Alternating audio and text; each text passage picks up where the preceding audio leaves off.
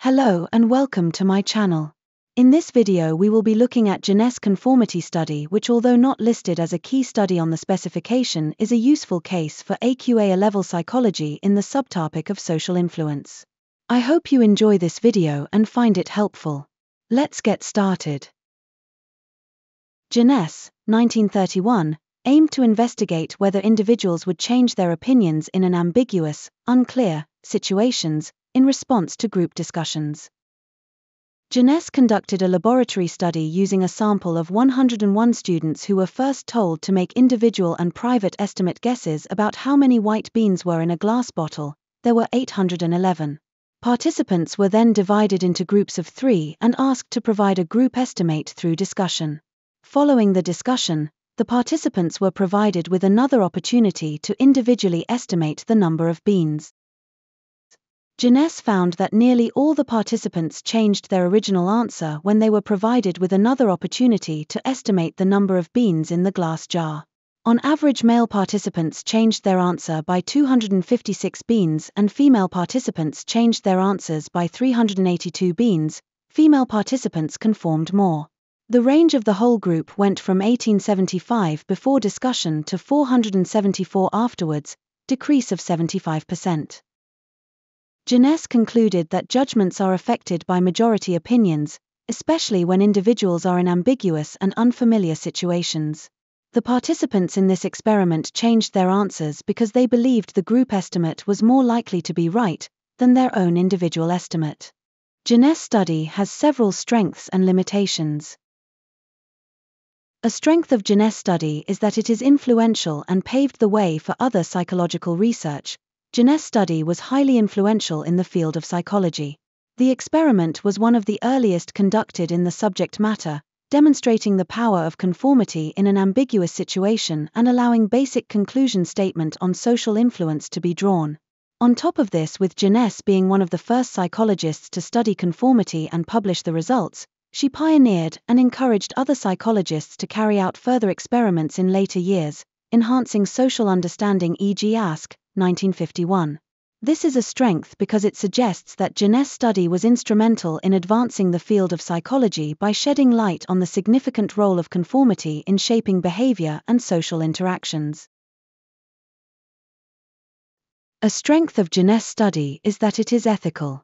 Jenness study was fairly ethical compared to other research into social influence e.g. Zimbardo, 1973, Milgram, 1963. Although, as with most psychology experiments, Jenness study had a lack of informed consent remain controversial as a balance must be distinguished, participants should be relatively aware of what they are involved in, at least the nature of the experiment, however, reveal too much and behavior may be distorted, reducing both the reliability and validity of results. This is a strength because it suggests that Jenness study was able to obtain valid and reliable results whilst also being able to keep in line with ethical guidelines. It also highlights the importance of maintaining a balance between informed consent and preventing behavior distortion in psychological research, as this is crucial to obtain creditworthy and trustworthy results. A strength of Jenness study is that there is more recent research support, Lucas et al., 2006, conducted a study where he asked student participants to give answers to easy and more difficult maths problems. He found that there was more conformity to incorrect answers when the problems were more difficult, particularly for students who rated their maths ability as poor. He therefore conducted that individuals conform in situations where they feel they don't know the answer, ISI. This is a strength because it suggests that individuals look to others and assume they know better than them and are right, ISI, which supports the results and conclusions of Jenness study. A limitation of Jenness study is that it lacks ecological validity.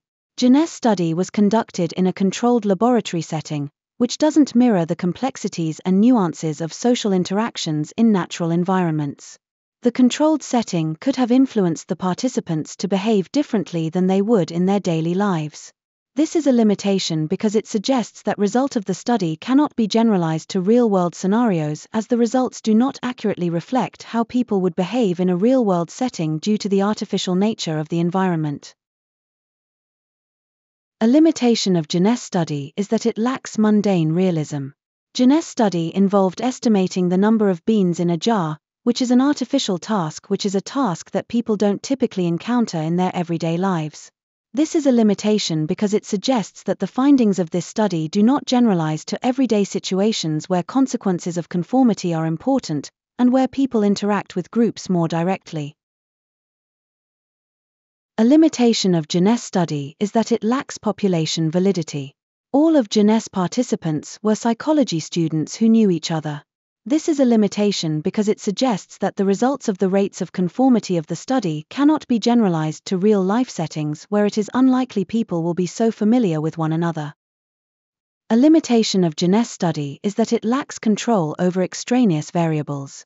The study was conducted in a group setting, where individual differences, e.g., personality traits and external factors, could have influenced the results, e.g., Asch, 1955, found that students were less conformist, 28%, than other participants, 37%. Perrin and Spencer, 1980, found that in approximately 400 trials only one engineering student conformed.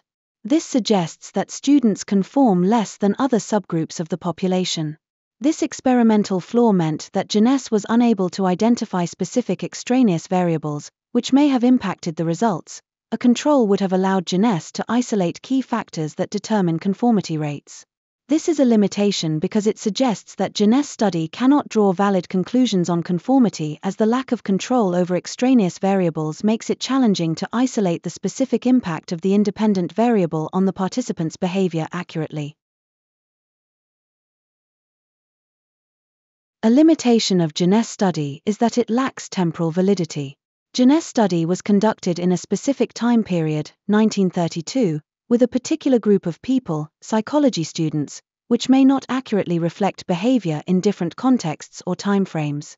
The study's findings might not generalize well to diverse populations or contemporary settings, limiting its temporal validity.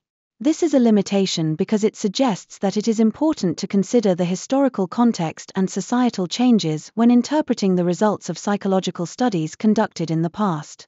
Thank you for watching. If you have enjoyed this video please like and subscribe for more content like this. Bye.